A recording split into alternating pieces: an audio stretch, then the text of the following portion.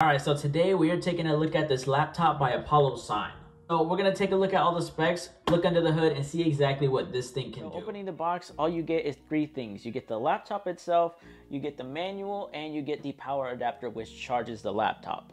When you open the computer, it comes with this little protection little layer of paper right here, but on the paper it tells you exactly what ports they are. So there's a USB 3.2 type A, 3.5 millimeter jack, mini HDMI, like I said. Other side's another Type A port, another 3.5 millimeter combo jack, and that card slot, like I said. But yeah, let's just hop into the computer and see what it looks like.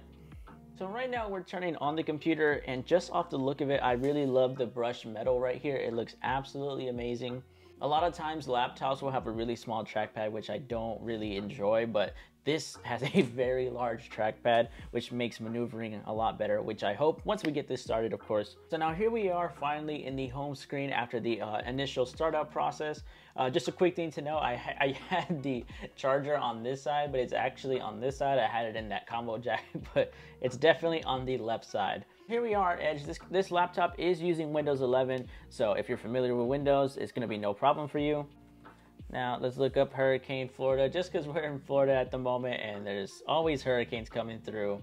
So using your fingers, you can zoom in and out. Sometimes there are like articles or like stuff you wanted to look at and it's either too small of a font or just really hard to read. So it's really cool that you can just pinch your fingers and zoom in. So I really like that. Said it's running Microsoft Windows 11. It's already pre-installed. So you can add any apps from the Windows Microsoft Store right here to run through some of the specs, it has a 512 gigabytes of SSD storage. It's running Jasper Lake N5095 processor at the moment. The 2.8 gigahertz. Now, this computer is actually only three pounds, so it's actually super lightweight that you can carry anywhere. Now, I've already talked about it before, but this screen is 1920 by 1080, so it is a beautiful, very sharp screen does have the capability of expanding the storage up to one terabyte. So if you need more storage, you can definitely put an extra one terabyte in the computer. Now, honestly, what this computer is perfect for is if you're a student, like you're studying, um, if you're doing some light work, some entertainment, just basic internet surfing, I think this is perfect for that. To conclude, I really just want to say that this feels, this is a really big laptop. I already talked about this really large trackpad, which is perfect to where you can click right in the middle that, that uses a click